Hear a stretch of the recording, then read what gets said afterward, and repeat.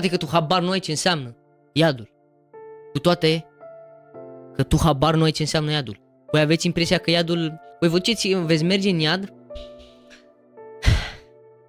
și veți bea bere, veți bea la căldură, la tot felul de glume pe care le folosiți voi și prin care vă, vă liniștiți voi, vă, ca să vă scuzați în continuare trăirea în păcat, să iubiți în continuare păcatul și să puteți trăi nelegiuirile voastre în continuare. Pentru că nu doriți să vă pocăiți. Da, lasă că mă duc în iad, mă duc cu satan acolo, cu aia, cu diavolul, ne distrăm, mai bem o bere, mai cât o glumă, mai cu furca lui,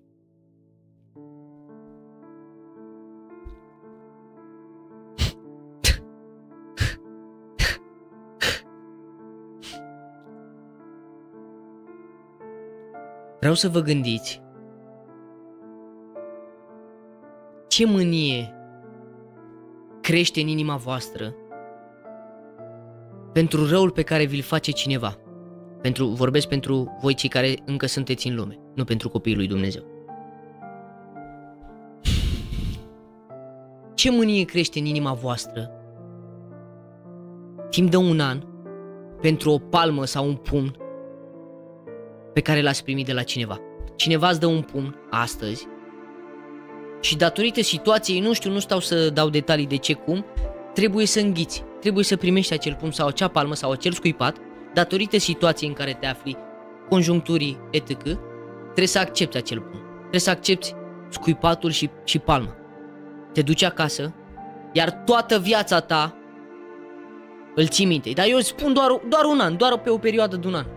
Câtă mânie și câtă ură crește în inima ta pentru acel om. Abia aștepți să-i faci, să-i dregi, să-i răspunzi. Vreau să vă gândiți acum ce este în inima lui Dumnezeu pentru diavol, pentru îngerii săi și pentru toți oamenii care iubesc păcatul. ce mânie este în inima lui Dumnezeu. Acum încep să înțelegi ce înseamnă iadul, poți să concepi când îți spun că este veșnic, veș, atent, veșnic.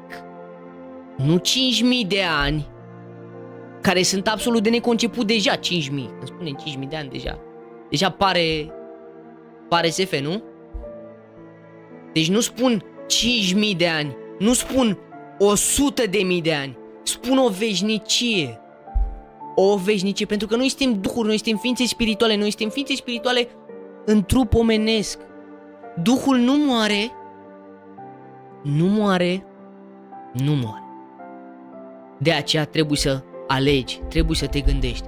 Unde îmi voi petrece eternitatea? Unde? Unde? Pentru că nici nu putem concepe iadul. Tu nu poți concepe iadul, habar nu ai ce înseamnă iadul, este de neconceput suferința aia. Să suferi în continuu, în continuu, în continuu, în continuu, în continuu, în continuu, în continuu, în continuu, în continuu, suferință în continuu, tu nu vei mai simți nimic frumos, pentru că Dumnezeu se va despărți pentru o eternitate de tine. Tu acum poți să simți fericire, iubire și în porții mici, pentru că încă nu ești copilul lui Dumnezeu, dar tu poți simți fericire, iubire, tot ce e frumos, pentru că Dumnezeu încă este cu tine. Dar Dumnezeu se va de, se va, Dumnezeu va pleca de la tine. De tot. De tot. Pentru o eternitate. Este absolut de neconceput. Este absolut de neconceput. Iar în, în iad, tu nu vei fi chinuit de diavol și de demoni, adică de îngerii săi. Demon înseamnă ființă inteligentă. Demon înseamnă ființă inteligentă. Nu înseamnă... Dar diavolul a pervertit absolut tot. Toate definițiile, toate ideile despre orice cuvânt, despre orice lucru, diavolul a pervertit absolut tot. A sucit, înțeles... Demon pare că e, mă, wow, ceva, oricum, sunt ceva, nu spun, ei sunt foarte rău, ceva foarte, dacă iadul este pregătit pentru ei, E clar că sunt ceva extrem de rău, pentru că ei au pervertit toată creația împreună cu diavolul. Dar demon înseamnă ființă inteligentă. Iar în iad, în iazul de foc, nu te vor chinui demonii și diavolul. Nu, nu, nu, niciun caz. Mânia lui Dumnezeu, atenție, mânia lui Dumnezeu care este peste voi și rămâne peste voi dacă nu-L acceptați pe Domnul nostru Isus. Domnul nostru Isus, Dumnezeu, vă va chinui în iad pentru eternitate. Dumnezeu pe care voi insistați și nu vreți să îl portretizați altfel decât iubire. El este iubire. Este iubire, dar nu este doar iubire. El este și perfect drept. Iar în dreptatea lui, tu care ești păcătos, trebuie să mergi în iad. Atât de simplu este.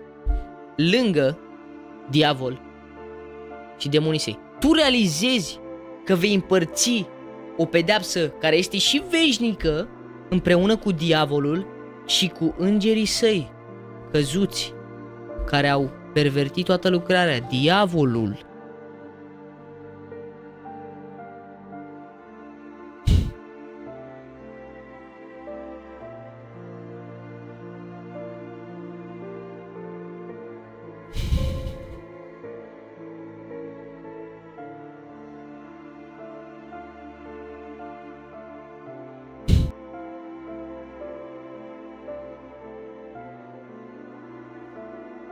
Dacă asta este dorința voastră,